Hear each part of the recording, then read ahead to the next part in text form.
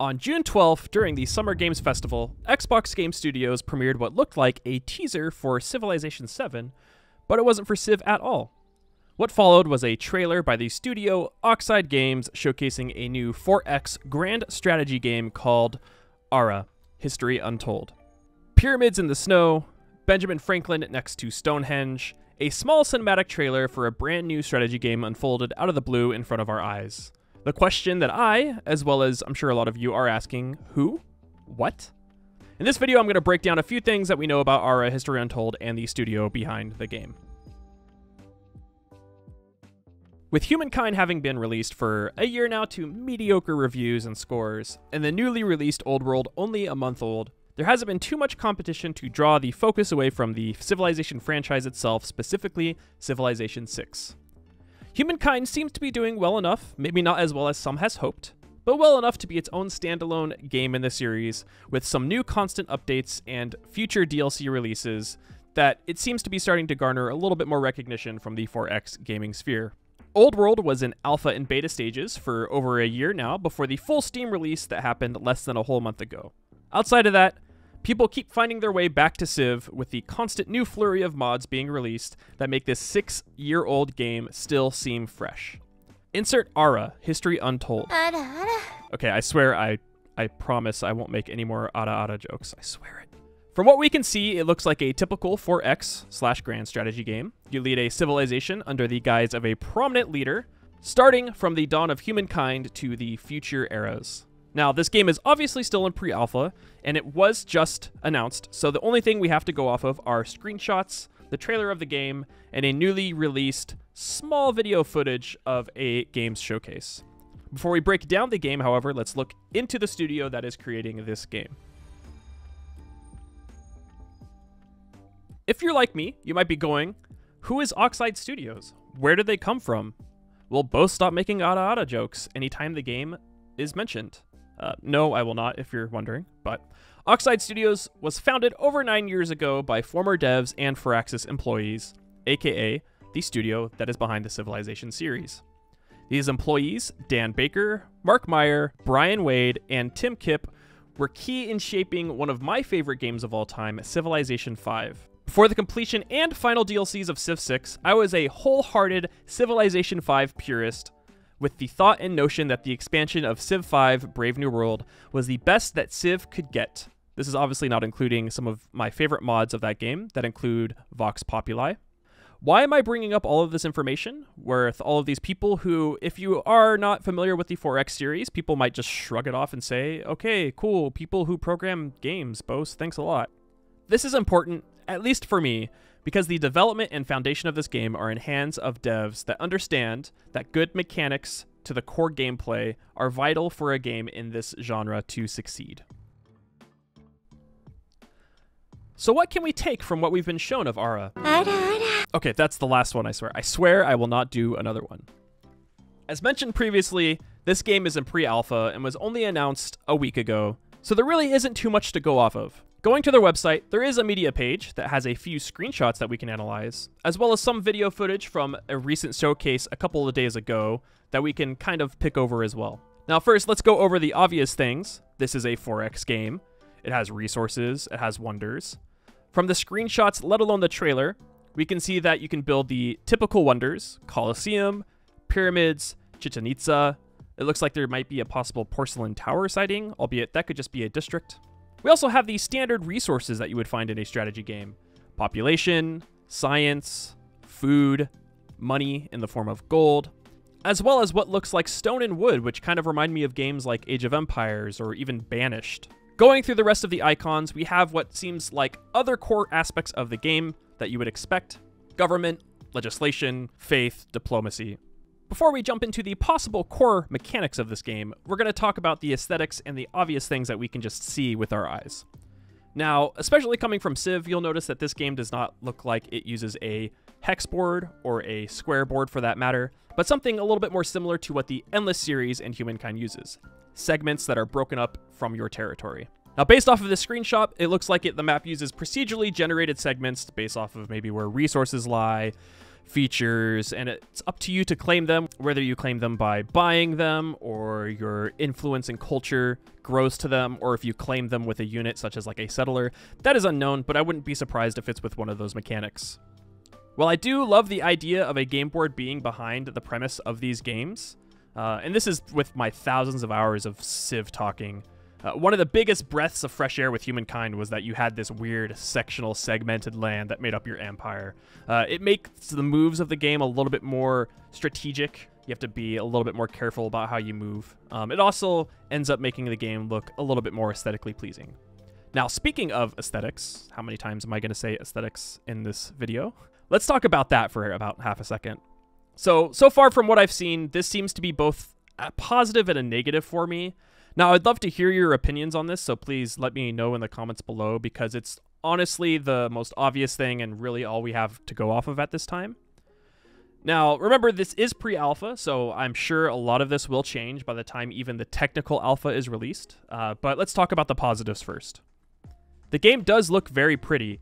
The, the tilt shift screenshots make for some very pretty art and honestly, it kind of reminds me of playing City Skylines for a second just because of the city building aspect it has.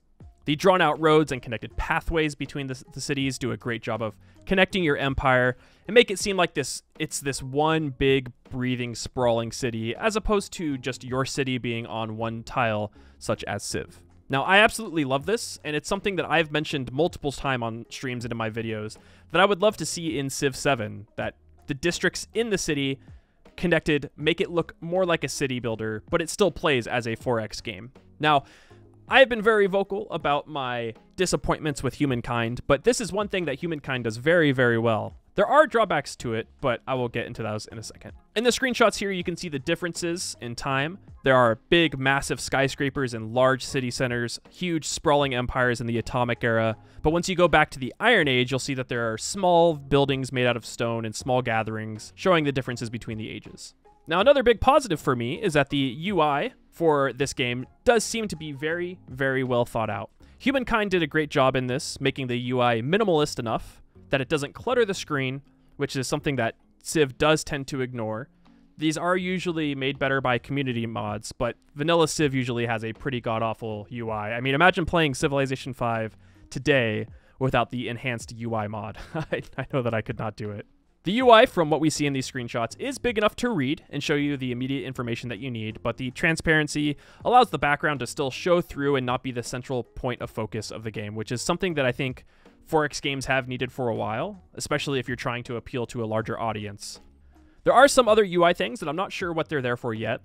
In this screenshot, it looks like you can hover over something that is being built or has been built and see the type of resource that either it's taking or a resource that it's providing. Maybe it's a resource that you need to build that. Obviously, we're not sure. That's just a pre-alpha. But it does look like you can lock this icon on the screen to permanently show as indicated by this little lock, kind of similar to how you could show the yields on the map in previous games. Based off of this screenshot, it also looks like that you could show what is currently being created in this building district, but like I said, we'll go over those mechanics later. Now we can talk about the negatives, and while this game does look very pretty, and as I said, remember, it is in pre-alpha, so there are a lot of things that could change, it seems to, at least for me personally, suffer from the same homogenous sameness that humankind does.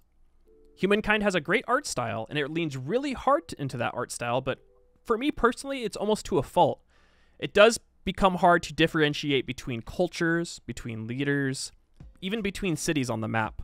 Now, this is the point of humankind. Cultures start blending and combining throughout the game, and this unvarying art style is kind of expected near the end stages of the game. Ara, based off of the screenshot, looks like it's kind of taking the same route. Now, Understanding that it is very hard to create unique looking cities, let alone a bunch of them, I do get that you're going to have a de varying degree of sameness in the map, especially when it comes to procedurally generated maps. I think the critique in this for me is that when everything starts to look a bit the same, everything becomes quite muddled, and it actually affects the gameplay a little bit more than you think. This happens a lot with me for Humankind. I do like Humankind, but everything when everything starts to look the same, it removes the uniqueness to things that you are building, which removes the importance to what you need to build and create on the map. Civilization 6 does this, I think, perfectly in the district system. Probably one of the biggest shining lights in the Civ game itself. When you see a holy site district in Civilization 6, you know that it's going to generate you faith and it's going to be useful for religion or faith stuff. When you see a campus in the game, you know that, that it's specifically going to be for science and it's going to give you science things. There was a lot of criticism in the art style for Civilization 6 when it was announced, with it being called too cartoony, with too much color, which honestly, it makes a lot of sense if you look at Civilization 5's art style, but there was also another game that used to be called too cartoony, with too much color, and too cel shaded that ended up being one of the fan favorites of the game years down the line. But I would argue that this is actually Civilization 6's biggest strength, and I'm not talking specifically about art itself. I'm not talking only about the colors that they chose or the way that their map looks. I'm talking about how buildings are designed, how each civ's music and theme allows you to easily identify who is in the game to even how the leaders react with their over the top animated style, the ways that they greet you, the ways that they the ways that they move when they denounce you. Seeing easily distinguishable features and reactions cause you as the player to identify and know what is happening in your brain without having to talk it out, without without having to spell it out, which I think a lot of 4X and grand strategy games fail at, especially when trying to draw in newer players who are not familiar with this genre. Now, I don't want you to overthink and think that I'm trying to say the game is a failure because of this, because this is literally just pre alpha screenshots. As I stated previously, when Civ 6 was announced, the screenshots they provided were drastically different than the release. Additionally, even the UI has been changed multiple times from vanilla to now the New Frontier Pass. The art style and the way that the game looks is not the end all, be all to a game. I mean, look at games like RimWorld, which are not the most aesthetically pleasing of games, but has such incredible depth in gameplay that it constantly brings in new players because of it. One more negative for me, which I know a lot of people actually like, this is just a personal gripe of mine, but it is the lack of an immediate minimap. From the screenshots, it looks like they're going with the grand strategy style, endless legends way of view viewing the game map by zooming out to reveal the game board.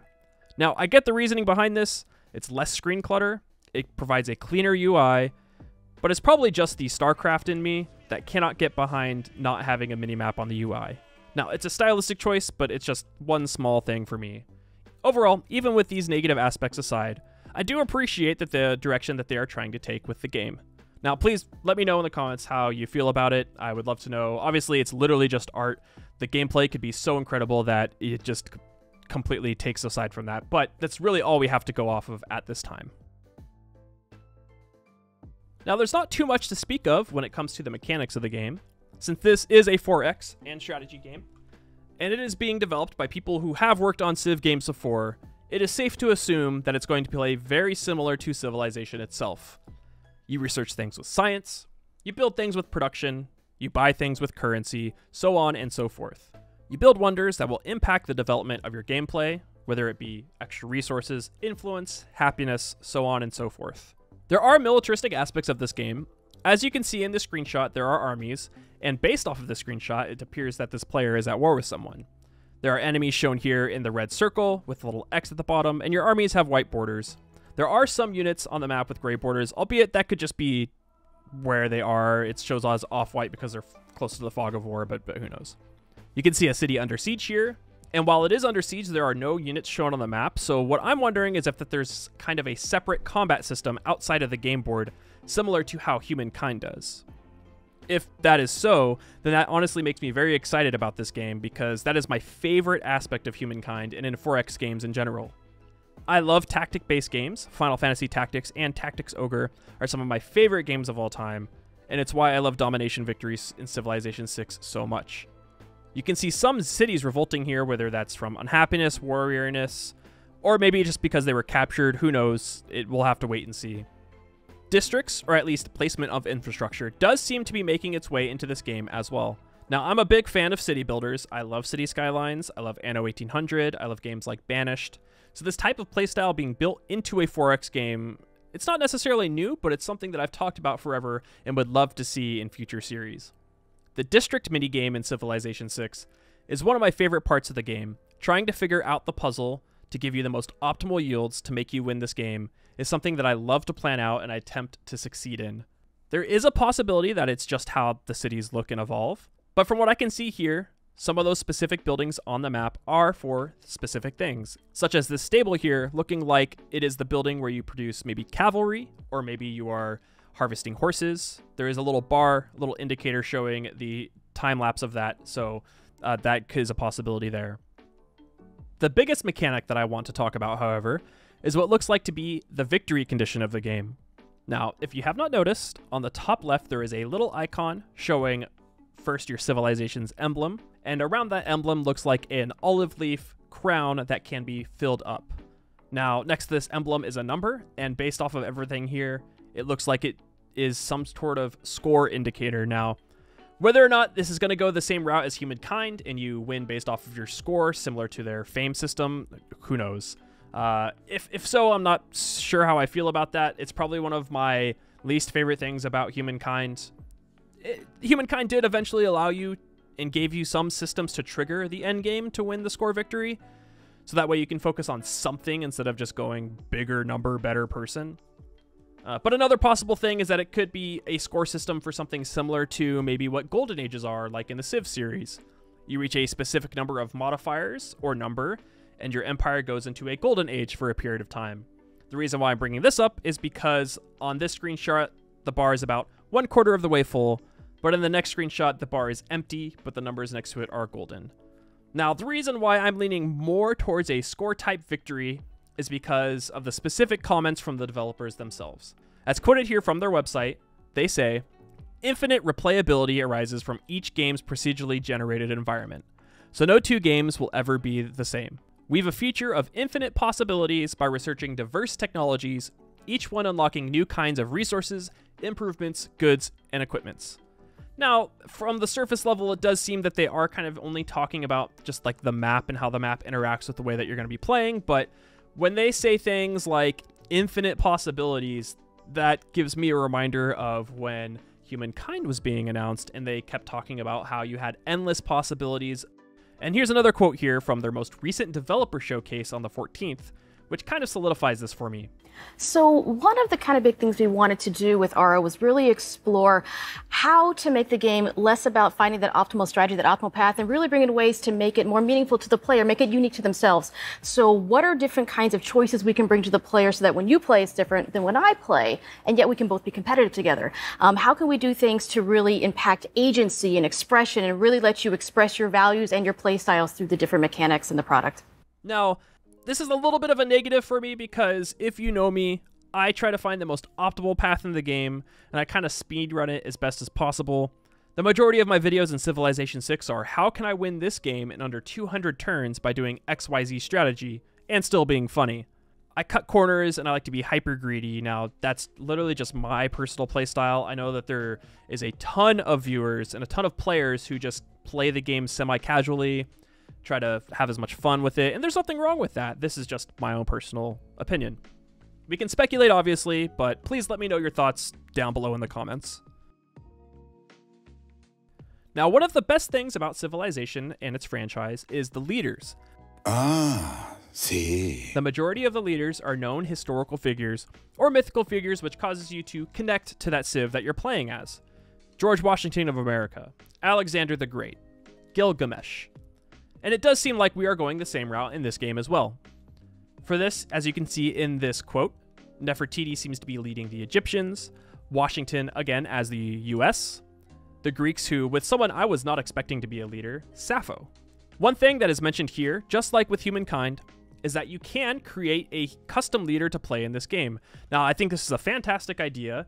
Crusader Kings does this, Humankind does this, and I would not be surprised if we see custom leaders based off of content creators, just like Humankind did with Spiffing Brit, with Quill, Marbs, Potato, etc., and have the ability to claim those leaders via drops on Twitch in order to promote the game later.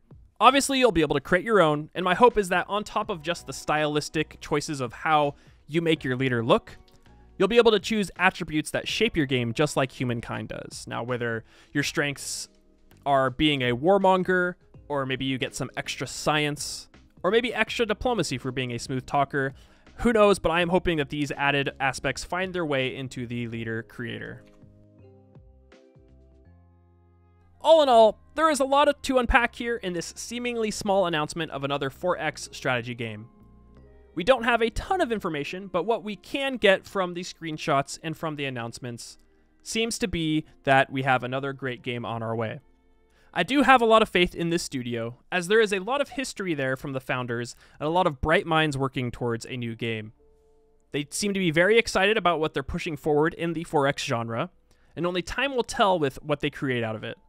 Now, I, for one, am just really, really glad that we're getting another 4X game added to our library. My only concern is that with this 2022 announcement and a technical alpha only being at the end of the summer, is Ara going to be possibly overshadowed? And it's what I, I'm only imagining being a late 2023 release by an actual new Civ game announcement that I mean, obviously, only time will tell. But from the way that Civ does their games, they usually announce a new game every six to seven years. It does seem likely that at the end of this year, maybe in the beginning or mid to next year, Civilization and Firaxis is going to announce a brand new Civ game. So we'll have to see. If you haven't signed up yet, you can attempt to get into the technical alpha of this release. That is supposed to be happening later in the summer by going off of their website. Um, you can find the website down below in the description this isn't an ad or anything. I'm not being paid to say this. I'm just putting the description down there for uh, everyone's sake.